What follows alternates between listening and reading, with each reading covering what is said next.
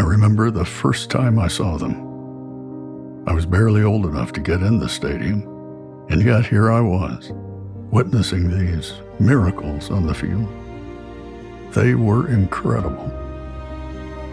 After all these years, I still think of them as heroes. The ones who overcame the odds. The ones who got back up after every fall. The athletes